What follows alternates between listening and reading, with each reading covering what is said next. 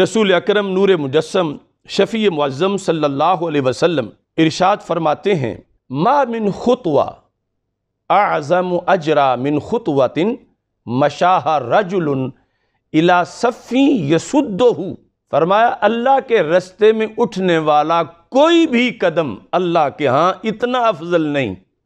खा वो जिहाद के रस्ते में उठाओ खा वो किसी कुर्बानी के लिए है, किसी समाजी खिदमत के लिए है वो सफ़ा मरवा मिसाज के लिए है, वो काबे के गिरद तवाफ़ के लिए है। कोई कदम भी अल्लाह के यहाँ उस कदम से ज़्यादा अफजल नहीं, जो कदम दो सफ़ों के दरमियान खाली जगह पुर करने के लिए उठा है। मामिन खुतवा खुतवा दो कदमों के दरमियान की जगह को कहते हैं। कोई भी स्टेप ऐसा नहीं आज़म अजरा, जो अजर के लिहाज से बड़ा हो, किस स्टेप से?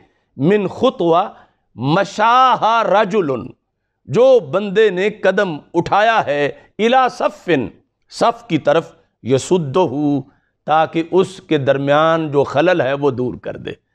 उस खलल को दूर करने के लिए जो कदम उठा, अल्लाह के यहाँ इस कदम से अफजल कोई कदम नहीं है। इस कदर शरीयत में मतलूब है कि सफ़ों में फासला ना हो और फासला होना नुकसानदेह है नमाजियों के लिए तो उस नुकसान से जो बचाने वाला है, वो बंदा जब कदम उठा के उस तरफ़ आता है तो फिर रब जलाल इस कदम पर भी उसे अजमत अता फरमाता है। ऐसी अजमत के जो मुनफरद किस्म की है।